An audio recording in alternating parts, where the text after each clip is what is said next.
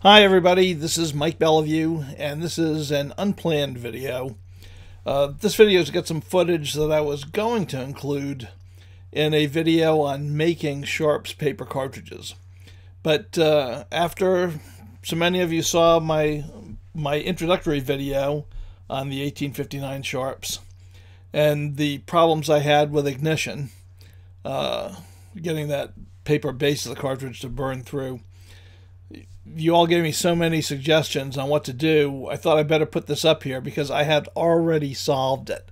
I mean, just the way these things go, it's several weeks from when I make the video to when you see it. Usually, uh, I schedule them to to drop. So I've already solved it. So you can um, you can quit giving me your suggestions. So many of them were very very good and I'm going to tell you what the solution was that I'm using, and uh, then we can go from there. So I'll put a link down below to the original Sharps video, the Sharps first look. Uh, but basically, what was happening is I would pull the trigger and you'd hear the pop from the cap and the cartridge wouldn't go off uh, like this.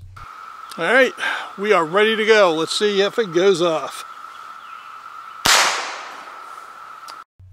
All right, so the issue that we're trying to take care of is that the bases, the flat bases of these paper sharp cartridges, were not burning through from the flame of the cap and setting the uh, the powder charge off.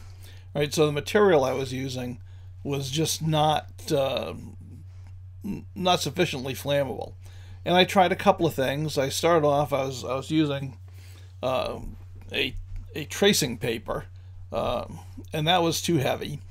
So then I went to nitrated coffee filter paper, and that gave me about 60% ignition, uh, but still not good enough.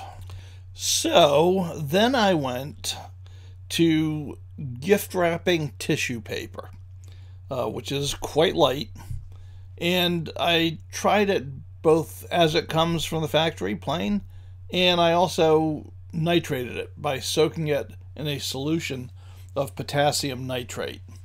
And um, that actually ended up working, and I'll, I'll show you the results.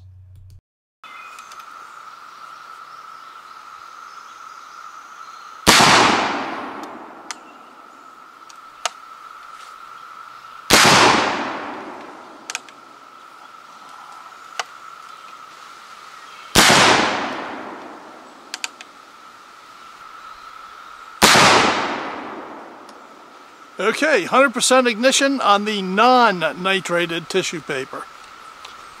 Okay, nitrated tissue paper bases.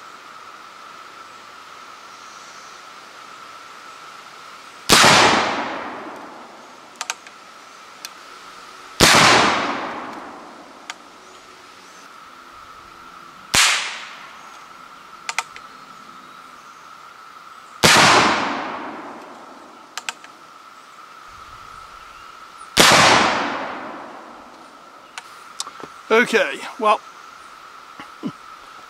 I'm dressed uh, like this because I was actually doing a flintlocking video. I just wanted to test out some paper cartridges.